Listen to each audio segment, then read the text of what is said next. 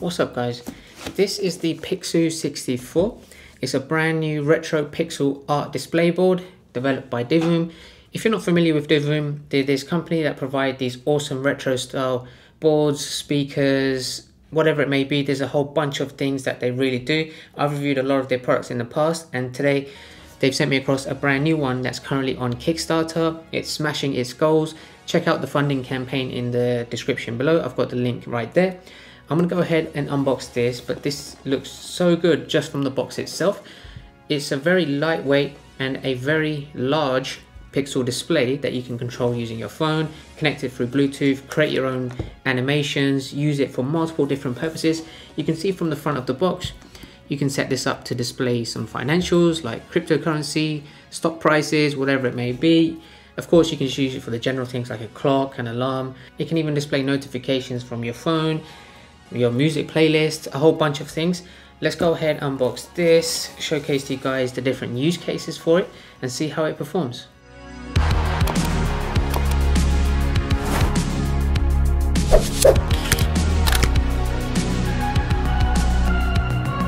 Just from the box itself, you can see there some highlights at the bottom. You can use it as a social media tracker, pixel art creation, music visualizer, interior lighting decoration. So I'll showcase a lot of these examples. So before I go into that, let's just take a look at the accessories. You have yourself the user manual, and here you have yourself a very long USB-C charging cable. And then in this packet, you have a couple of mounting screws that you can place at the bottom of the Pixoo device as well. So let's put this to one side, take a look at the screen look at that. It looks like a very nice monitor. It's uh, it's actually quite lightweight. Now there is a screen protector on this. As you can see it's quite reflective. I'm going to leave that on for now just so that it doesn't get a lot of fingerprints on it. Okay on the right hand side there's two buttons here. You have yourself the power button there. This is also the menu button. Then you also have the two mounting screws there at the bottom. So those are the screws that came in the box. So just underneath the mounting plate there's a USB-C charging port and there's a slot for micro SD card so you can actually put displays on this from an external memory source. So just at the bottom, this is where the kickstand is and you can mount this on a wall as well. So there's a screw port there. If you just pull this out, so this actually just clips in here. There you go. Then you can actually use this as a digital photo frame. So one other caveat I wanted to mention is that you need to have this plugged into the USB cable to power it on. It doesn't have an internal battery where you can use it without a cable, so it has to be plugged in at all times to use it, so that's something you need to be aware of. Now the first time you do power it on, you'll get a Wi-Fi configuration option. It's very simple, go into the app, make sure you have the latest version of the app, connect it to Bluetooth, enter your Wi-Fi details and it will connect straight away. It might ask you to update the firmware, so always go ahead and do that so you have the latest version. So I'm now going to power this on by turning the switch on that I have under the desk. You'll see, you get a little confirmation beep and it will start turning on. You've got the Divoom logo, the Pixoo logo, and it will start to display the default faces. So now what I'll do is go in and show you a little bit about the app and how that looks. I'll leave a link in the description below as well of all my previous Divoom product reviews. I've covered the app in extensive detail as well in case you guys wanted to go and check those out. But I'll give you an overview of the capabilities of the app and what this can display. Okay, so this is the default gallery of all the different types of pixel animations that you can send to the display board here. So there's a lot of options in this, you know, there's thousands of things, they're user generated, there's some ones that have been developed by the Divoom gallery experts. So you can see here, you know, if I just click on one, there you go, it changes from the default clock to the pixel art display. You can set them as favorites if you wanted to cycle through them at a later stage. And there's plenty of things that you can do in here. And you know, if you're a fan of a certain comic or some characters, I'm pretty sure you're going to find them. There's a search button on the top. So if I type in, let's say Sonic, press enter. You'll see there's loads of sonic art as well so that just looks really cool and you can have this in the background especially you know if you're an avid gamer then this is really cool to have around your desk or in your room or in your bedroom, wherever it may be. And there's loads of other things that you can do on the app. So what I'm going to do is just go through some of the tabs there down below just to highlight some of the key features on this. The first tab on the bottom left there is called Discover. This is where you'll find most of the options of the things you can display onto this. The first one there you can see is design, then you have animation, then pixel coloring and alarm. Let's just start off with design. Here you can start creating your own kind of display that you wanted to have on there. It could be some text, it could be a design or a picture that you create yourself. Let's go ahead and let's say I select blue. I can start writing some text. Make sure to like this video. It just instantaneously appears as you're creating on your phone.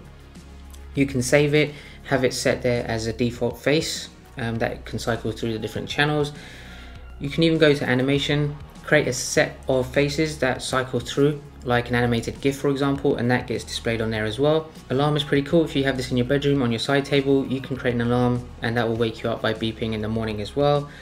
Planner, if you wanted to add a plan you click on the plus button that can schedule things throughout the week so you might want to show your financials for example on certain days maybe your working hours or show your social media stats and things like that maybe on the weekends. So there's plenty of things that you can do to play around with the planner. Celebration days this is pretty cool. You can maybe do like a countdown to someone's birthday or to a specific holiday hit new and then you enter the title the date the time and then you select an animation that would appear as soon as that date and time arrives. So let's go back you have a countdown meter. So if you do set time let's just say one minute click ok and then start. You'll see it will start a little countdown. And you know this is really cool if you're maybe at home playing some board games with your family and you have a specific time that you want to do stuff. Or even if you do some maybe home workouts and you wanted to time yourself doing an exercise you know multiple reasons why you might have a countdown and that's really cool to do. If you hit the more option this is where you'll find pretty much all of the different options and capabilities of this so if you scroll down, there's plenty of things here. You can actually sync this with your audio. So you've got radio and local audio that's saved to your device. So you can play that there. If you go down towards the bottom, you also have something called a scoreboard. This is something I, I like quite a lot. So I can play some games with the family or friends when they come around my house and I can just set up a scoreboard to see who's winning.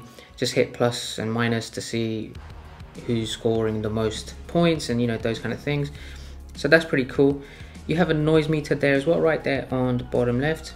So if I hit start, this just kind of gives you the decibel levels of how loud the audio is in the room around it. So it's actually picking up my sound. So if I stop speaking, it's very low and it just picks up the noises that it's hearing outside of the window and uh, some of the noises of the people coming from outside the room.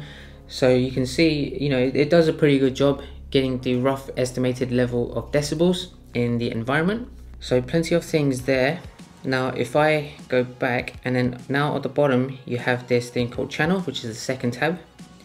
If you go here this is where you'll find all of the key interfaces which you know you might be using more often than anything else. So the classic digital clock there is by default when I loaded the app. You can actually set your own YouTube stat there so if you want to search for your channel, you can do that and it will show the number of subscribers that you, you have, the name, and then you have the date and the, the time as well displayed at the bottom. You can actually search if you tap the little menu button there, you hit search channel, and you know, let's say for example, you have Disney Music Vevo. You select that, click done, hit apply, then this will update. There you go, the number of subscribers, to the Disney Channel. Then you have the sort of normal category, which are kind of like the clocks and the, the times. Then you've got the financials. Um, let's say you, want to check the latest uh, Bitcoin pricing. You select the Bitcoin one and then you can have this there, especially, you know, if you do a lot of crypto trading. This might be useful if you just want to have it next to your desk and you do some monitoring throughout your workday it's really convenient to have it's kind of like a second monitor to track your financials obviously there's not a lot of extensive financial data there. It's just specifically one crypto but uh, you know if that's something that would be useful for you then that's really great. You know even if you check out the stock prices like this that could be something that you're into. And there's loads of other things as well like games. You've got things related to holidays and the tool set. So not a huge extensive list but it's got some pretty cool stuff there. You also have a visualizer tab right at the top and if you select one of these for example you can see that visualizes if you have some music in the background that will bounce to the music and the audio levels in the room. So this is picking up my voice at the moment. So if I stop speaking again and now start speaking you can see it does a good job picking that up. So you know it's a really cool thing to have in the background. Now the main button is there in the middle at the bottom. This is where you'll find the extensive gallery like I was showing you earlier. Select and favorite as many things as you like and you know this is something really cool just to have in the background and adds really cool ambience to the room. I've been a fan of Divoom products for a very long time and I've got plenty of their products that they've sent across to me. And there's one actually there if you can see just on my fireplace at the back. That's the uh, Tivoo Max.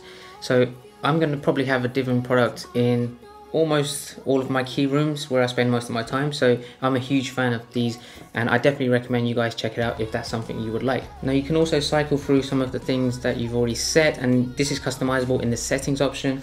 The button on the side there under the power button is the channel button so you can cycle through the different things. It goes to off in the last stage and then whatever you want to customize this for you can do that. So the next thing I wanted to showcase is the different types of things that you can use this for around the house. So let's go ahead and take a look at that now.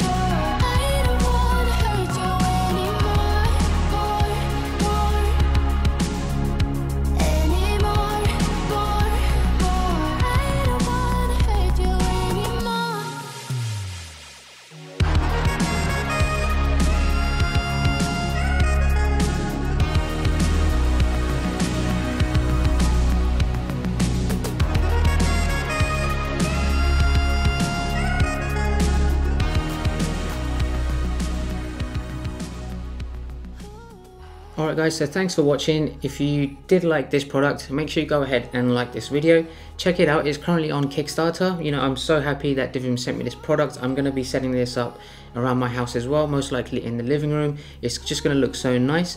And if there's any other questions you have specifically on the capabilities of this, drop a comment down below. Otherwise, as usual, I have new videos out every week. Make sure you subscribe and I will catch you guys next time. Take care.